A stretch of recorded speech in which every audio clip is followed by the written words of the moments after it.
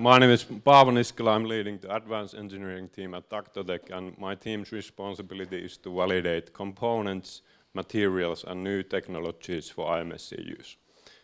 And uh, like Sini said,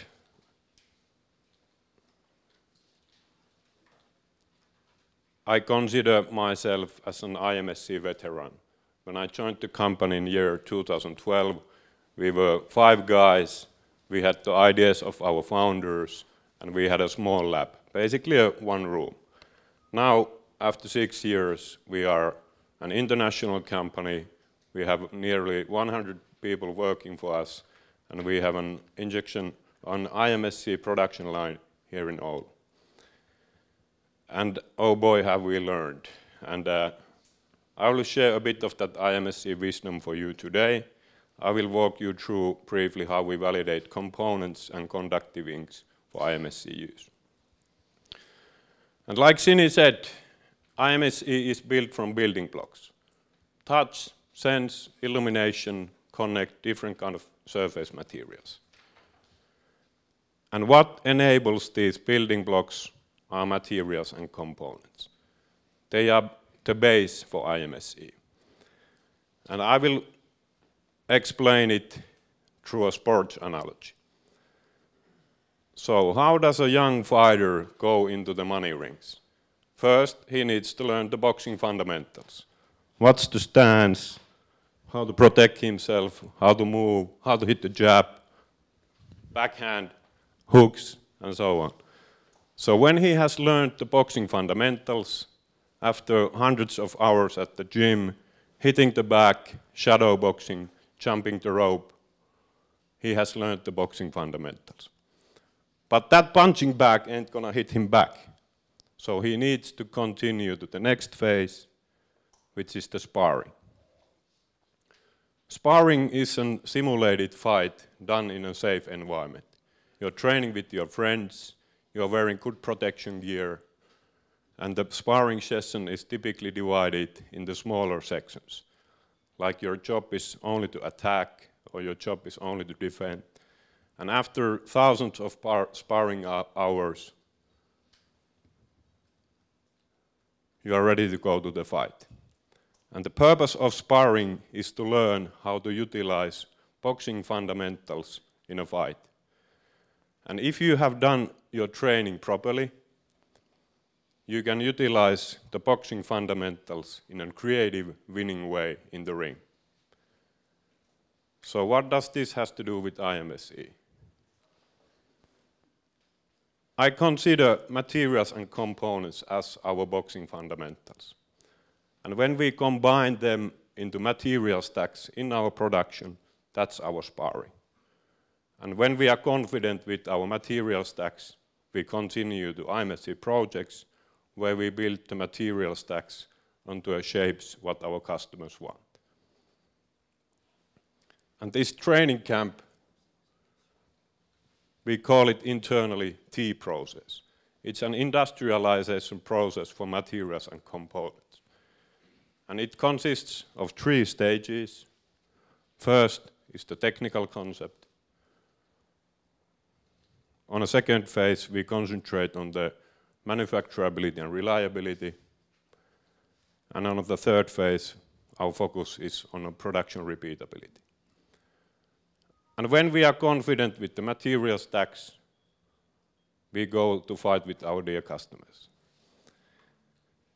So, like I said, material stack is essential for IMSE. As you can see from the cross-section picture here, we first built a functional B-film. We print uh, graphic inks on it, we print conductive inks on it, we mount components on it using conductive adhesives.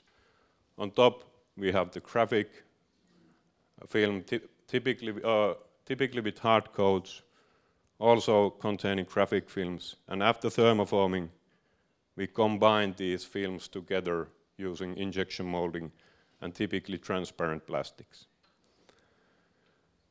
So as you can see, there are a lot of material interfaces within an IMSE part, and they all need to work together. For example, the conductive traces after thermoforming, they must meet the resistance designed by our, electronic designer. The light output out of the LED through the resin, through the graphic, must meet the design intent of our illumination specialist. And each of the material layer need to have a good adhesion to each other. Processing compatibility.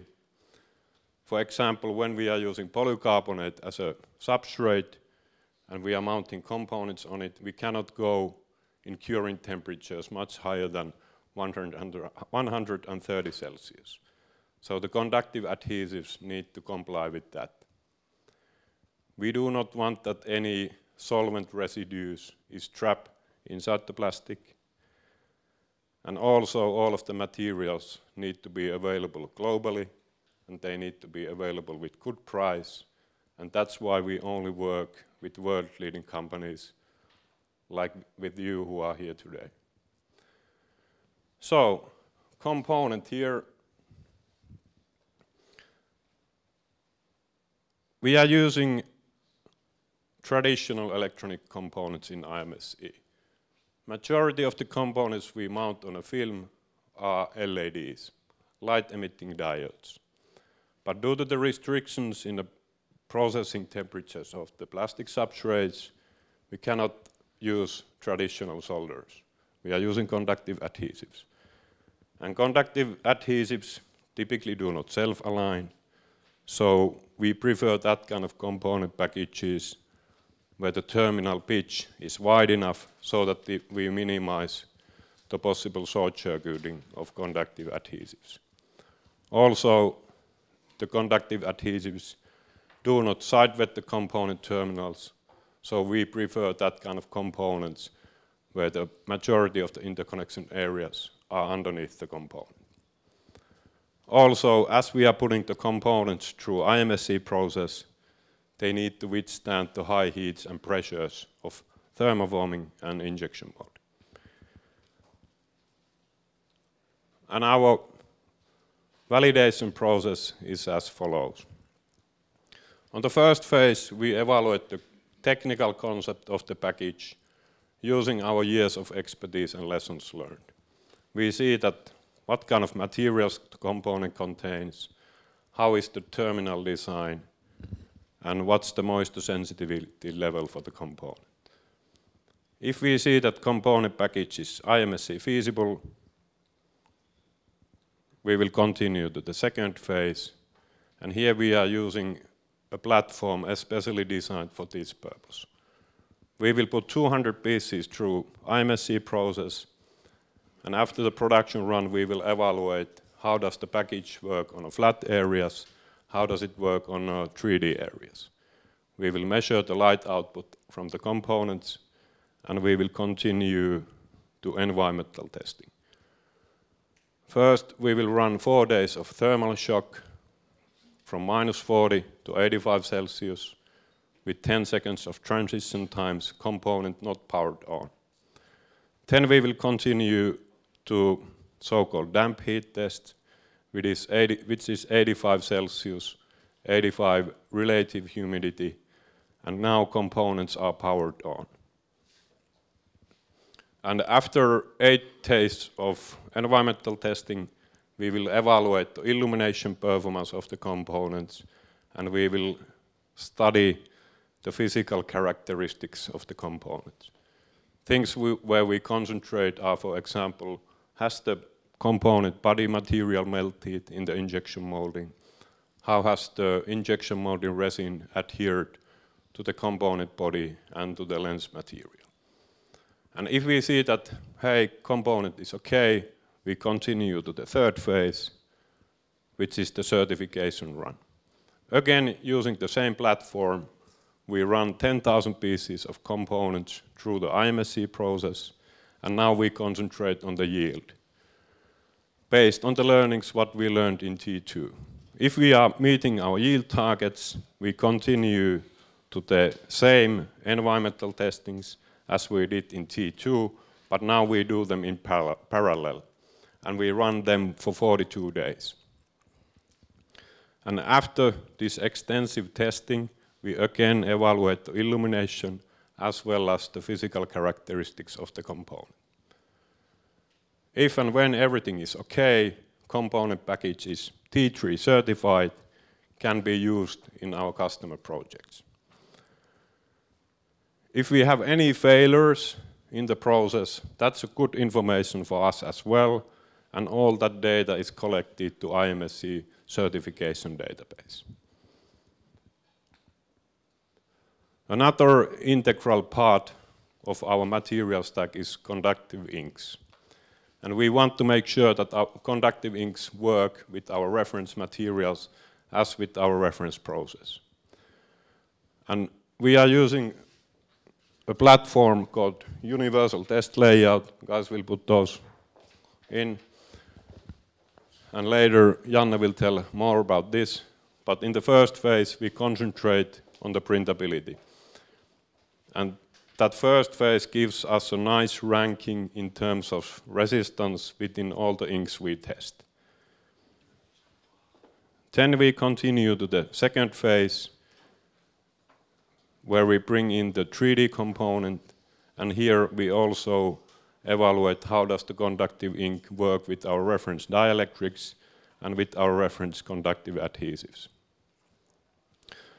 Majority of the inks stay here, but the ones we are happy with in terms of elongation, in terms of conductivity, in terms of process compatibility, will continue on the T3 phase. Here we will build full material stacks, and here we are concentrating on the variation of the resistance in the pro production. And after the production, we will also run damp heat test for the parts in order to see that there's no surprises in the adhesion. If and when conductive ink passes the T3 phase, it is T3 certified, can be used in our customer projects.